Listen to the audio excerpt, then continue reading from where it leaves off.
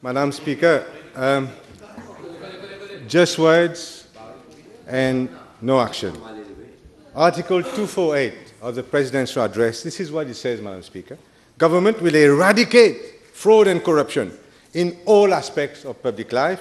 Meanwhile, le, le pays a dégringolé de 5 places in Transparency International Corruption Perception Index. My first question is, Madam, is this, since the Prime Minister has talked about POCA, is he going to amend the Prevention of Corruption Act to include the President as a public official, thereby doing away with his or her, it will apply to anyone, his or her immunity?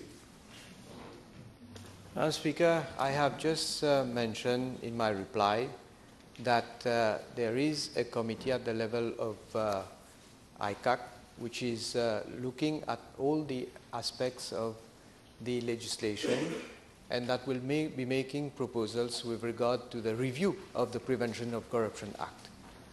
Let us wait for those recommendations. Government, of course, will uh, look into those recommendations and whatever needs to be added on top of that, we will look into that. I would like uh, the Honourable Prime Minister to consider seriously including the President in that uh, definition of a public official. Now, Madam, uh, Madam Speaker, with regard to traffic d'influence, I would like to ask our Honourable Prime Minister whether he will include MPs that may be bought to cross the floor and join the government in return for a ministerial post or PPS, etc. Will he include that under POCA as well, Prevention of Corruption Act, so that ICAC can investigate and even make it retro retrospective, retroactive, why not? Madam Speaker.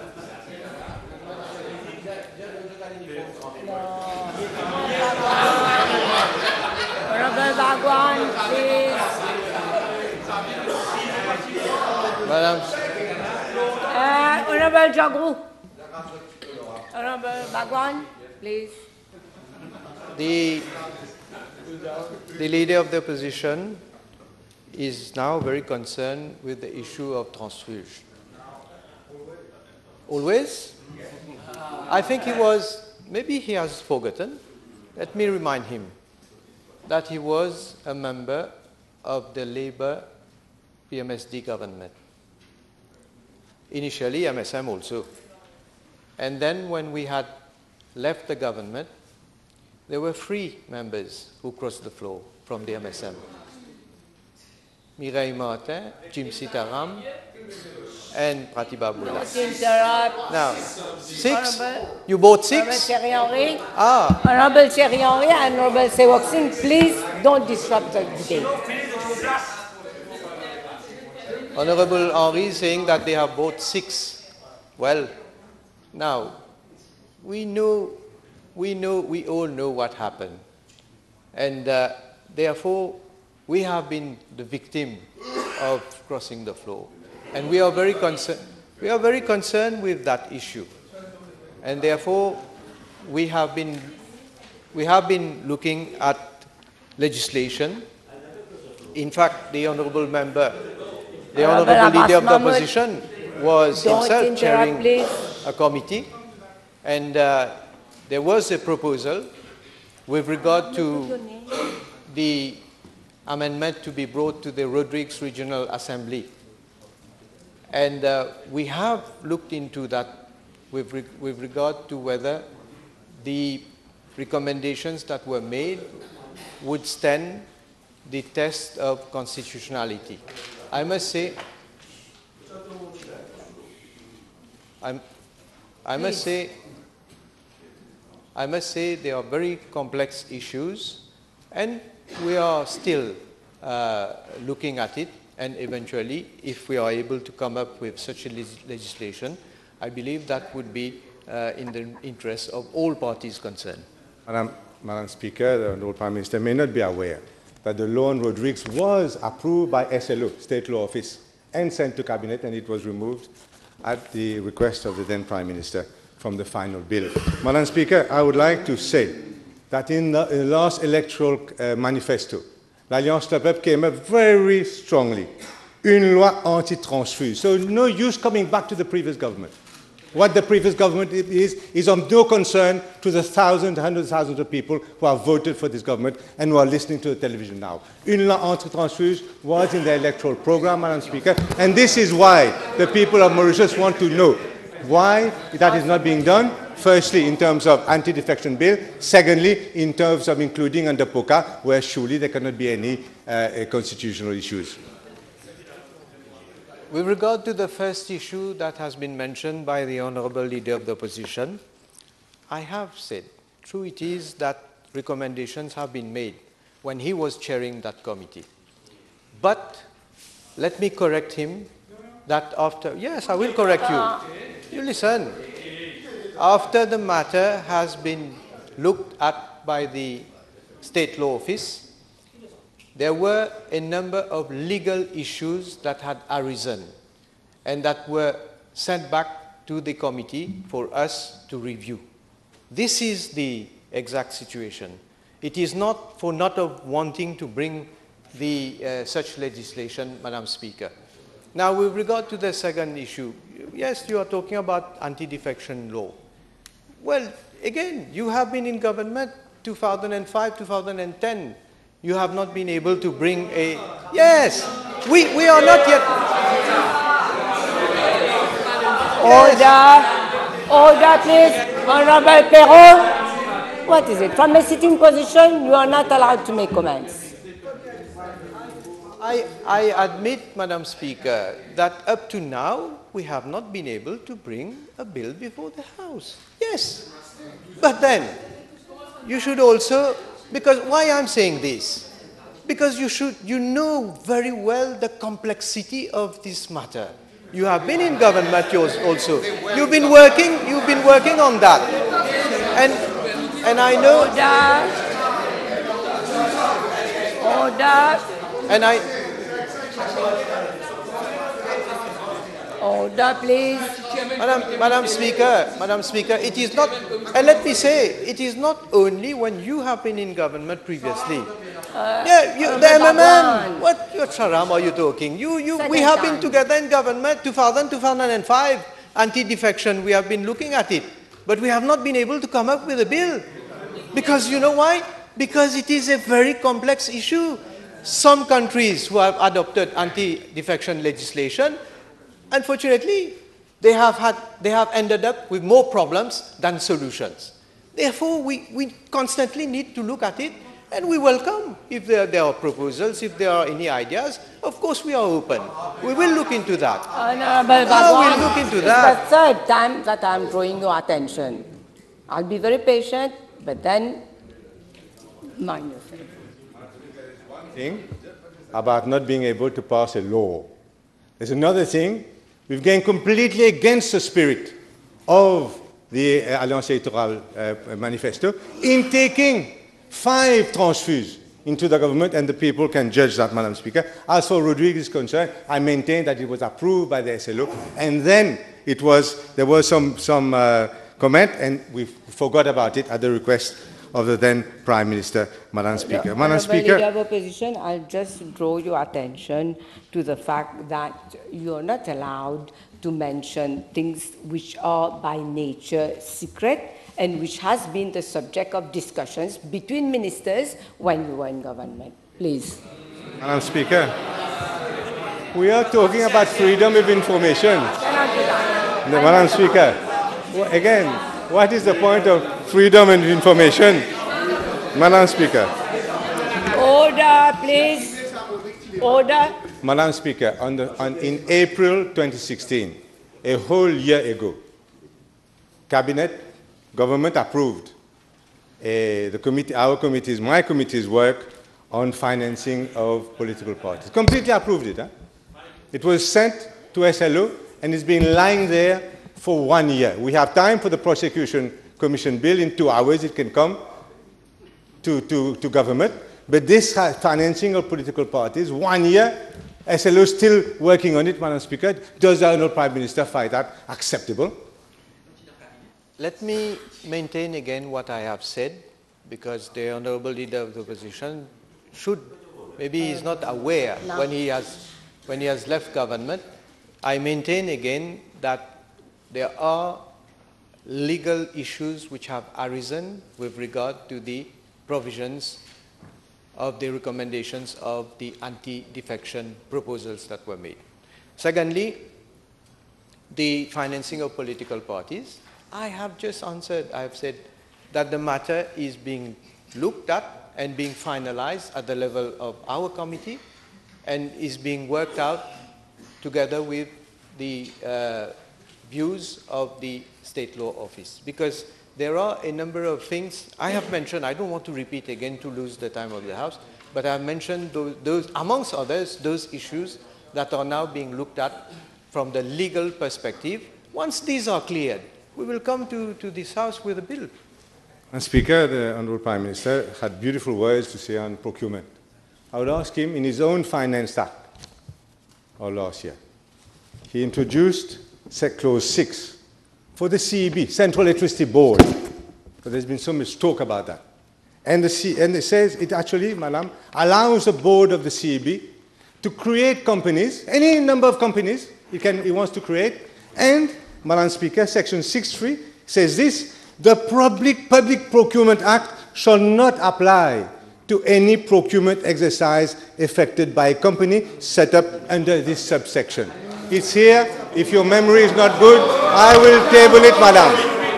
I will table it. Order, please. Order, I said. Honorable Jhugroo. Honorable Roopun. Honorable Roopun, please. Order, I said. Finance Act, so you cannot get away from answering, Madam Speaker. What is the rationale, the reason for this? Because we are supposedly putting matters clean inspect, in, in, in, in, terms of public procurement, and I, I can take me to express, I will not do so. Uh, Madam Speaker, let me, I will, I will look into this matter and I don't, I don't think, no, I don't think that uh, this is the interpretation that you are giving. But uh, okay, okay, I will, I will, I will look into... Honorable Thierry Henry, you keep interrupting. This is the second time I'm drawing your attention to this. I will, I will look into, into the matter, and if need be, of course, the, either the minister uh, responsible for, for this uh, issue will come up with a statement, or I will give the explanation. And all understand English, plain English, Madam Speaker. I'll table it in case she has trouble finding it in the Finance Act. Madam Speaker, on the declaration of assets, I would like to ask Honourable Prime Minister, when was the Collendavelloo, Honourable Collendavelloo Committee set up? When was that? I think it's about two years ago. And what has happened to this small amendment that was supposed to be made to a bill that had already been finalized on declaration of assets? It is not correct to say that a small amendment has to be made. I don't know when, what was your intention when you were go in government, whether it would have been a small amendment. But we are, we are looking at the whole, at the whole uh, bill and uh, uh, Madam Speaker, we, we, I, can, I can tell the House that the uh, committee chaired by the Honorable Deputy Prime Minister is going to finalize this, uh, uh, Uh, the working of this uh, report pretty soon. And of course, we'll have to, to be uh, debated we will come soon. No. No need to wait. When you, you ask your you question, the minister sits down and listens to your question. Now, when he is replying, you also should give him the opportunity to reply. Let's try to be fair. Obviously, obviously, Madam. Obviously, Madam Speaker, I can't give an exact date of when the matter will be finalized. First of all, the matter will be finalized and then it has to be discussed at the level of cabinet and then when we will uh, seek the views of stakeholders also, probably, and then, and then we'll come to this house. When? The question is his neighbor can surely remember when the committee was set up. That was the question.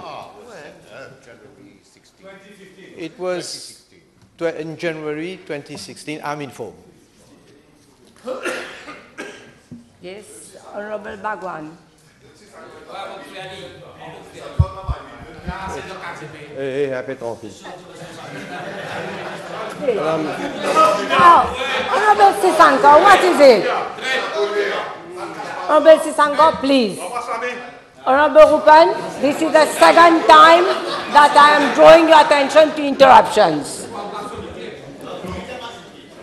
Yes, Madam Speaker, the Prime Minister has informed the House, the country and the nation of the intention of government to legislate, come up with new legislation concerning this uh, anti-corruption issue.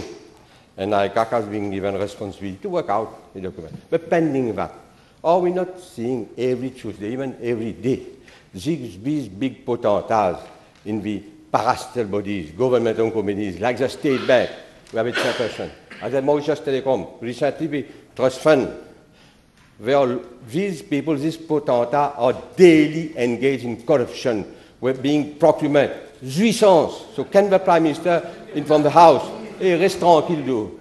Can the Prime Minister inform the House what immediate action intends to, to, take against these uh, potentats who are earning lot of million, millions of rupees, more than one million every month?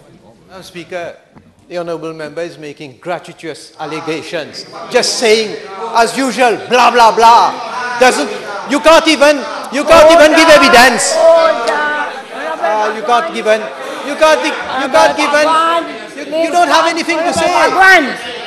Honorable Bhagwan, Honorable Bhagwan, I have uttered your names four times, right, when I am on my feet, right? So you've asked your question.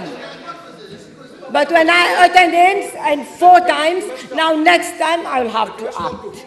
Okay? Yes. I, Now, would you continue? Yes, Honorable Prime Minister, you finished? Or? I'm saying yes, Madam Speaker. I'm saying making general comments and general remarks instead of coming with specificities. And to show that you are serious, you should come with substance. Honorable Modi? This government was elected with 12 priorities, 12 priorities to be executed in the first three months of this government. Now we are more than nearly three years of this government. Combattre la fraude et la corruption. La déclaration of Assets Act sera amendée pour inclure les propriétés acquises sous le prête-nom et la publication de toutes les informations dans la gazette du gouvernement. Can I ask the Honorable Prime Minister, when does he intend to come with a declaration of Assets Act? Three, year, three months have passed, nothing has been done. In the meantime, we know what's happening in the country. And will it be, will it, with this declaration of not only MPs, it will include also chairperson of parastatal bodies, advisors to ministers, and directors and CEO of government-owned companies. So can we know when government intend to come an urgent matter and to have this declaration made public, not to be kept in the drawer of the ICAC? Madam Speaker, I am happy that the honourable member is making such remark today because the time will come when within this mandate we will come before this house with a bill and then I will remind him what he has said today. Yes, Honorable Ratna? Madam Speaker, may I uh, refer to Presidential Address Government Program 2005-2010, paragraph 30. I will paraphrase very quickly. Yes, please, quickly, Honorable Ratna, because we are running out of time. They also took time to paraphrase to say No, no, no, no, no, no. I'm sorry. I have said that we are running out of time. Ask your question quickly. Honorable Balumudi. Paraphrasing para- pa- paragraph 30, my ministers will adhere to a code of ethic and integrity and will invite senior public officials and managers of the private sector to do the same. Paragraph 31, the law setting up the ICAC will be reviewed and the investigation and prosecution of fraudulent or corrupt acts will have to take place within legal framework that is more certain that result oriented. Can I ask the right honorable prime minister from can I ask the right honorable Prime Minister and the only Prime Minister. Whether, whether from record he can state to the House today, since 2005 to 2010, when the leader of opposition was in government, whether any of these happened? Obviously, the record uh, speak for itself that this did not happen, but on the contrary, the then Prime Minister did the opposite of what is stated here. Leader, last question for Leader of Opposition. International organizations agree. I just quoted Transparency International. That corruption now in Mauritius is worse than ever, at a historical worst. And I want to ask the Honorable Prime Minister. Uh, You are the last to talk. Now, now, I want to ask the Honorable Prime Minister to give a commitment to the nation, a precise timetable, no beating about the bush, when all these laws that have been promised, including freedom of information, are going to come to this House for debate and for passing. Madam Speaker, I have said that in my reply that oh, there are yeah. different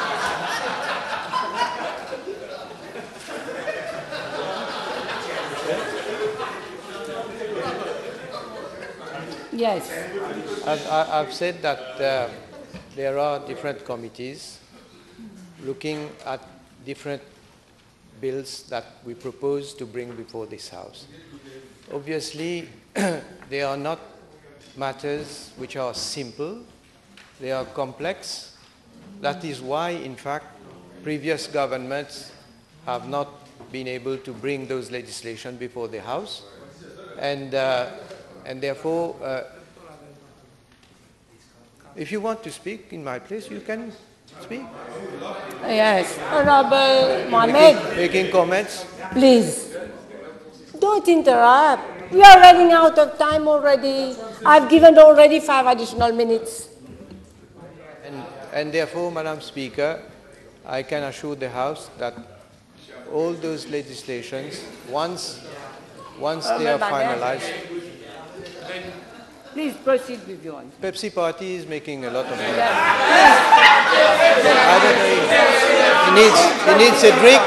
Order. Order on this side of the house. Honorable Jhugroo, please don't interrupt Honorable Jhugroo. Honorable Jhugroo? Yes. So, uh, therefore, as I said in my reply, Madam Speaker, once those uh, bills will be finalized at level of government, then they will be introduced in the House.